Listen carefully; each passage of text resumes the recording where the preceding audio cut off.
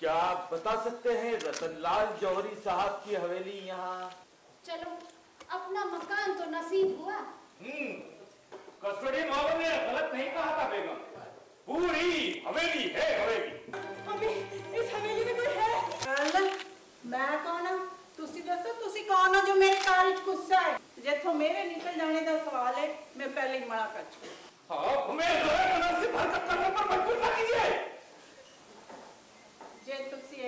समझते हो ना तो ठीक है जो मर गया वक्त के साथ हम भी है नासिर हर हस की तरह बहाए।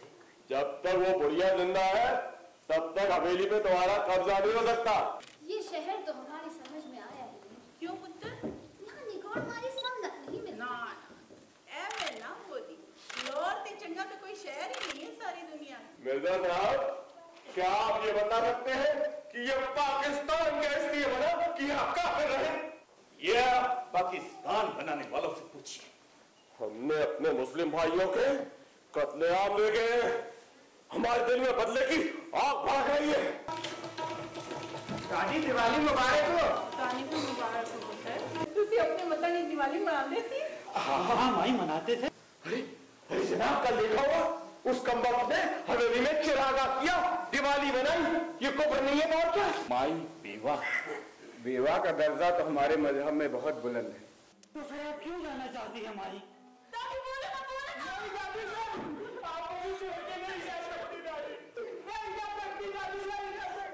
चाचा माई क्यों माई को? माई को क्या हुआ